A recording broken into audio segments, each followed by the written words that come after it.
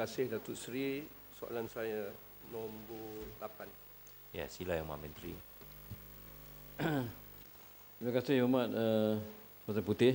Tuan Ibu Tua, soalan ini, soalan ini adalah berkenaan dengan leptospirosis ataupun uh, penyakit kencing tikus.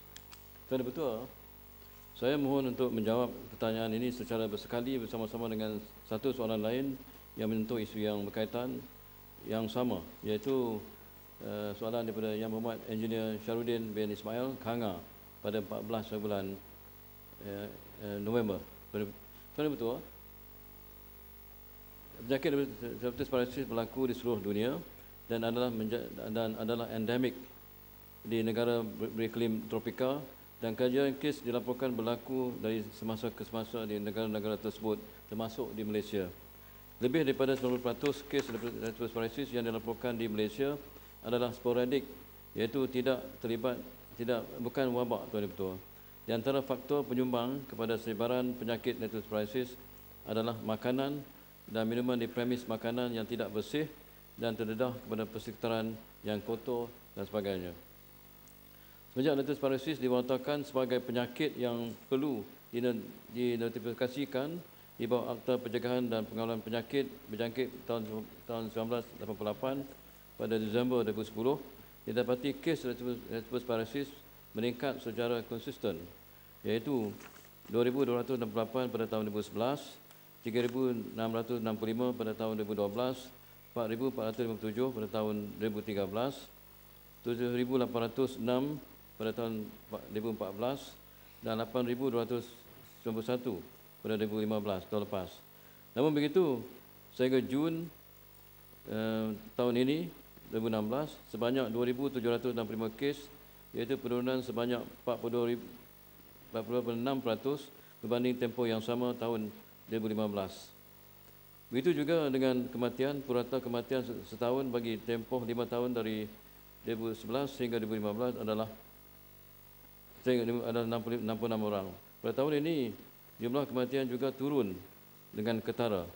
Sehingga Jun 2016, hanya 12 kematian direkodkan iaitu penurunan sebanyak 58.6% berbanding tempoh yang sama bagi tahun 2015 iaitu sebanyak 26 kematian, 29 kematian.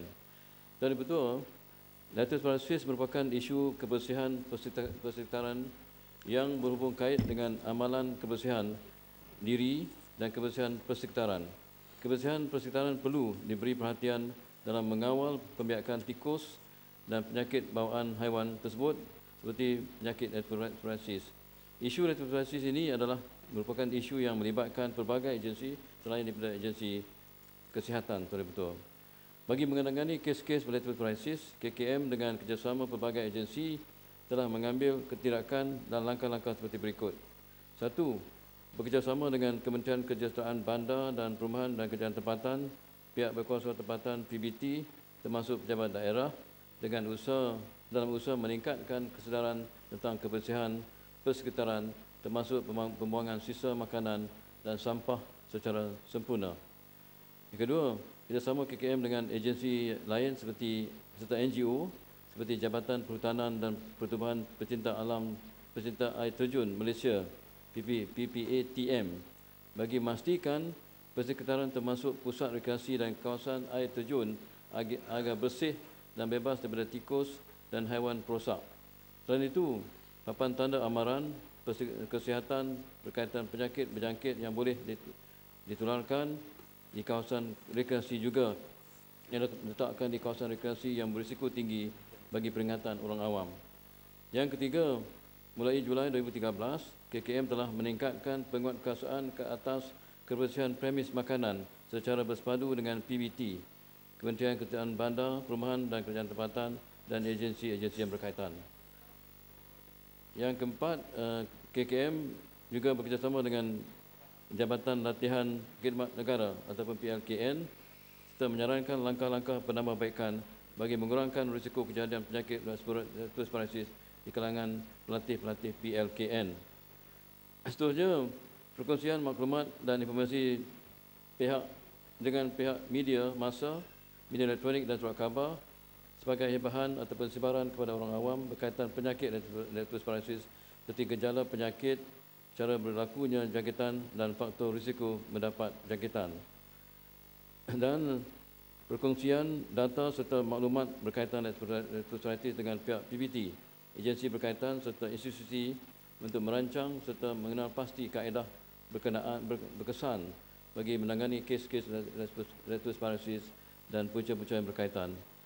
Dan betul, selain daripada itu, KKM melalui Jabatan Kesihatan Negeri dan Pejabat Kesihatan Daerah di seluruh negara termasuk di, di negeri Sabah dan Sarawak telah melaksanakan aktiviti-aktiviti seperti berikut bagi mencegah dan mengawasi dan mengawal leptospirosis.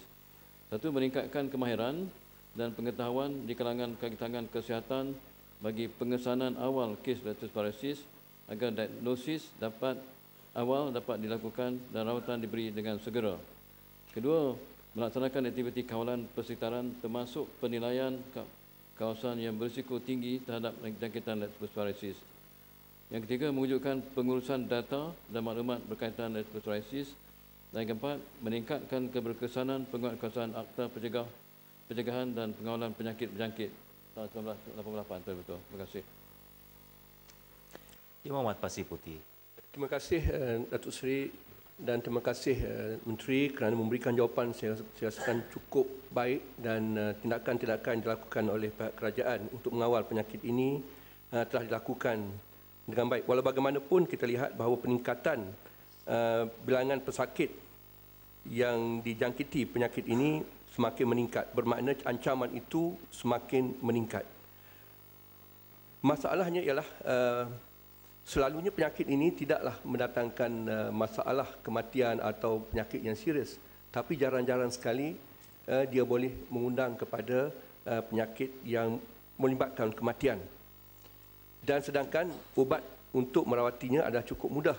Uh, dengan antibiotik saja kerana ia adalah bakteria bukan virus di mana denggi.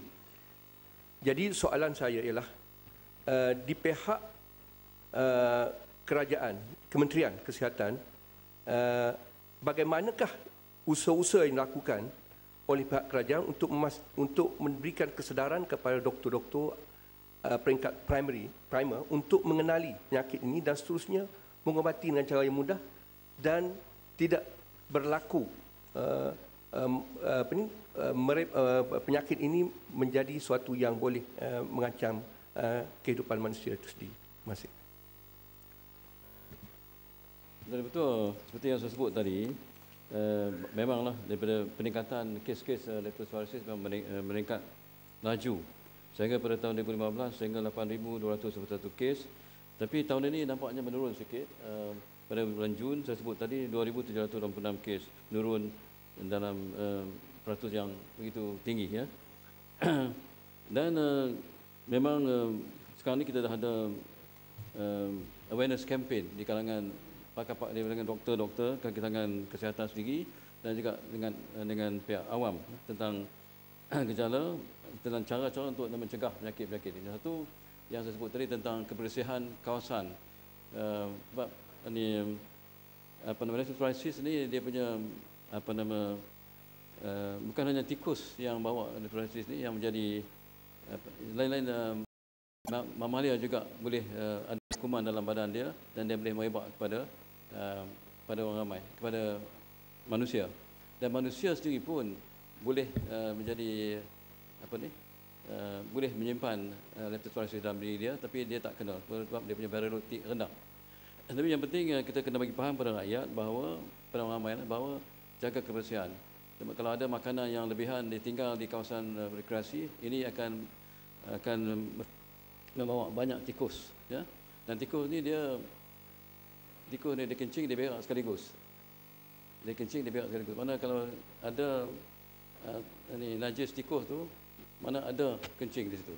Dan kuman dia boleh hidup kalau dalam keadaan kering dalam beberapa jam dia masih hidup. Tapi kalau keadaan basah cuaca macam uh, keadaan basah lembap dia boleh hidup lama lagi ya. Jadi mana kalau di, di tikus tu dikencing di tepi sungai kemudian uh, hujan lepas seminggu pun kuman tu boleh sampai ke dalam air. Dan uh, bila kita mandi kita kena pesan pada mereka yang mandi ni di sungai-sungai yang tak bersih ni supaya sebab kuman ni dia merebak melalui mikosa dalam mulut ataupun di mata. Ataupun kalau ada sikit luka-luka dalam badan sikit cukup dah dia boleh masuk ke dalam badan kita. Jadi dia boleh merebak. Dan um, di uh, awareness tu sangat penting tu betul. Kita ada kita bagi tahu kepada semua kaki tangan kita supaya uh, mesti ada awareness. Mana kena ada suspicion. Bila kalau dia, kita lihat dia pergi dia bagi tahu dia pergi mandi di mana-mana kita kena ada suspicion. Mana kita nak nak kesan pada awal lagi. Kadang-kadang dia dia datang dengan keadaan demam biasa. Tapi kita tengok history dia sejarah dia dia ada pergi mandi.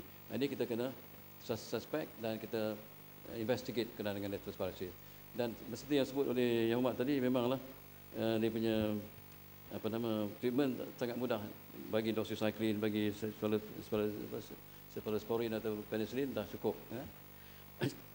Jadi makna masing-masing kena faham tentang penyakit ini barulah kita mudah mengesan penyakit pada awal lagi. Terima kasih tuan-tuan. Yang Amat sekejap.